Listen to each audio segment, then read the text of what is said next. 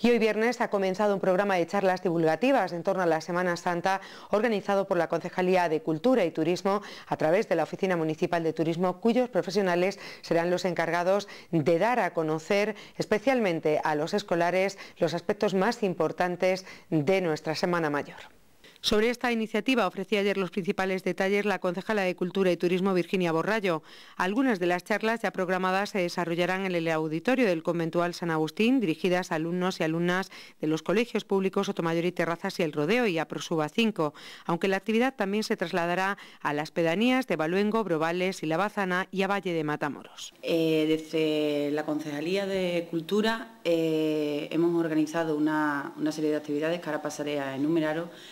y además mm, de la Concejalía de Cultura, bueno, pues hemos tenido, mm, contamos con la colaboración de las juntas de, cofradía. Eh, con esto empezamos hoy, día 15, con la presentación de la revista de Semana Santa, que se celebrará a las ocho y media en el Centro Cultural San Agustín. Eh, cuando os acerquéis a, a la presentación de, la revista podréis ver que alrededor de, toda ella se ha montado una exposición que se mantendrá abierta al público del día 21 al día 27.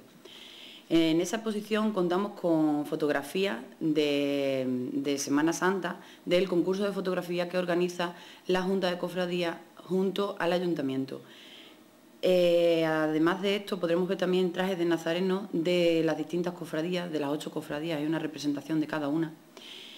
Y también podremos ver una pequeña exposición de mm, miniaturas realizadas con Playmobil que otros años se, ha estado puesta en, el colegio en el Sotomayor. el día 16 Mm, tenemos el concierto de, la Escolanía, de la Escuela Municipal de, Música, que también se realizará en el Centro Cultural San Agustín. Eh, pasamos al sábado 17, donde, se celebrará la Misa Cofrade, eh, en la cual eh, se darán los premios Cruz de Guía y los premios Caballeros Cofrade, como se, viene haciendo todos los años. será a las siete y media y será en la iglesia de San Miguel. El día 20 eh, nos vamos a acercar a, Badajoz eh, a la presentación del cartel de Semana Santa, a la presentación de nuestra Semana Santa, vamos a hacerla en el corte inglés, con todos los medios de comunicación y con todo lo que esto, esto conlleva, la importancia que todo esto conlleva. Irá la alcaldesa, eh, como representación de la Junta de Cofradías irá Pepe Márquez y también estaré yo como concejala de Cultura. Eh, del día 16 al 29 se van a realizar unas charlas divulgativas y promocionales de la Semana Santa Jerezana. Eh, van a realizarse en los centros educativos y en sus pedanías y van a ser ofrecidas por el personal de la Oficina de Turismo en colaboración con, la parte informática de aquí del Ayuntamiento de Jerez de los Caballeros. Eh, en estas charlas a los niños se les va a mostrar un PowerPoint donde podrán conocer pues, un poco más la Semana Santa de su pueblo y de esta manera los lo queremos acercar a, la tradición, porque bueno, esto es la, semilla que debemos sembrar para que la Semana Santa de Jerez de los Caballeros pues en realidad siga hacia adelante. Eh, estos niños, parte de estos niños también se van a desplazar al Centro Cultural San Agustín a ver la exposición que allí tenemos preparada y que antes os he, hecho referencia. El día 24 y 25 vamos a hacer eh, el día de la tapa, que ahora mi compañera Isabel pasará a explicaros. Hemos decidido que, bueno, eh, hay que hacer una jornada gastronómica en base a que ese día va a haber un montón de gente en la calle y que, que se van a realizar un montón de actividades y que esto, pues bueno, también, se, también viene bien que, se acompañe. El día 24 eh, tenemos una actuación de la coral, también de la Escuela de Música, que actuará junto a la coral de San Vicente de Alcántara y también será en el Centro Cultural San Agustín a, las 9 de la noche. El día 25 tenemos nuestro pregón de Semana Santa, que será ofrecido por Kini Vilarramos, que es un, ciudadano de Jerez, aunque lleva muchos años fuera, eh, al cual pues, bueno, le ha hecho muchísima ilusión que, como ya hemos visto en, en entrevistas anteriores, que se le haya nombrado como pregonero de la Semana Santa de su pueblo. Y esa misma tarde, el día 25, tenemos el certamen de banda, que comenzará su recorrido a las cinco y media, desde aquí, desde la Plaza de la Alcazaba, y después llegará al Cine Balboa, donde se organizará el certamen.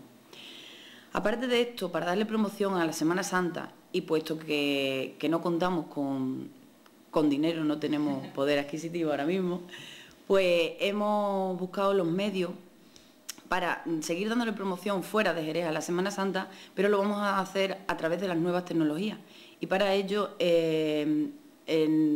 vamos a utilizar videoconferencias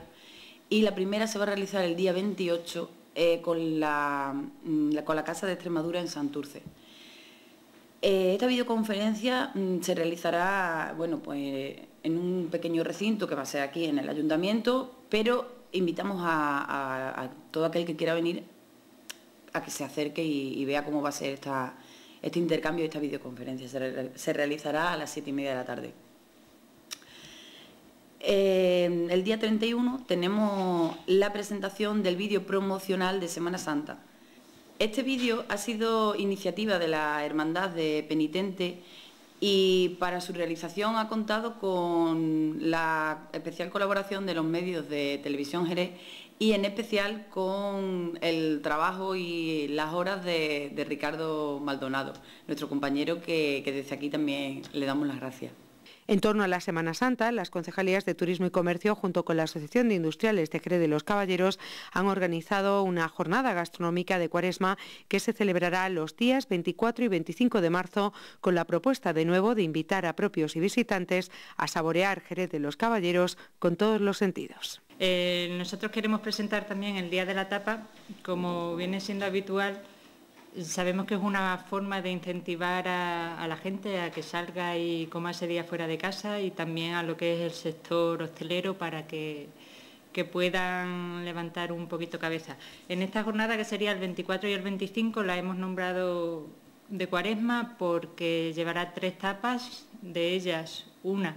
debe de ser... Mm,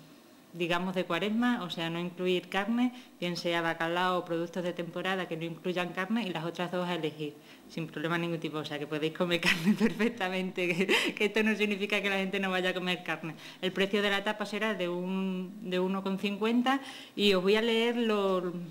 los locales participantes. Tenemos Café Bar La Rambla, Hotel Rural Hacienda Arroyo La Plata, Restaurante Oasis, Restaurante Mijina, Hotel Los Templarios, Restaurante Santa María, Café Bar Florida, Bar Cachipé, Bar Centro Jerez, Café Bar CBC, Café Bar Alcazaba, Victoria, Mesón Jerez, Carvis 90, Cervecería Cafetería El Jamonero, Hotel La Posada de la Cigüeña, Café Bar Tropicana, Castilla, Restaurante Pichita, Bar Aquilino 1, La Espuela y Restaurante Balboa. Invito a todos los ciudadanos y vecinos de la comarca e incluso turistas que estén por aquí en esos días, dado que vamos a tener la actuación de las corales el sábado y el domingo entre el pregón y, el certamen de, de banda, pues nos va a dar tiempo a pasar una jornada turística, que nuestro pueblo se vende solo, gracias a Dios, con el patrimonio que tenemos, y a disfrutar de unas buenas tapas y de una buena compañía en nuestra localidad.